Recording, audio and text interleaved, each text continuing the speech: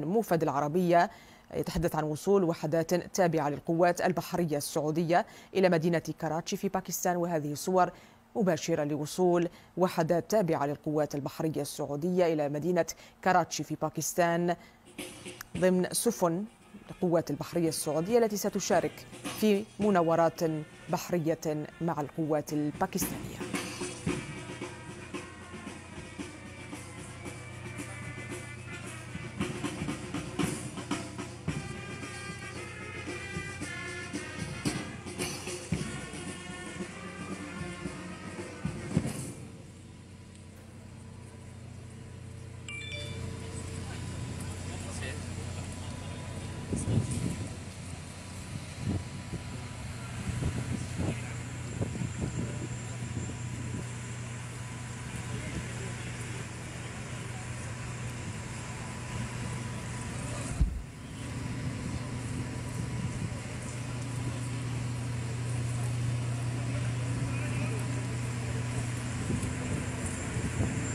إذا مشاهدينا هي صور مباشرة لوصول سفن القوات البحرية السعودية للمشاركة في مناورات بحرية مع القوات الباكستانية. إذا هي صور مباشرة لوصول وحدات تابعة للقوات البحرية السعودية إلى مدينة كراتشي للمشاركة في هذه المناورات مع القوات الباكستانية. وهذه صور مباشرة من كراتشي. ولنا عودة للموضوع فور توفر تطورات.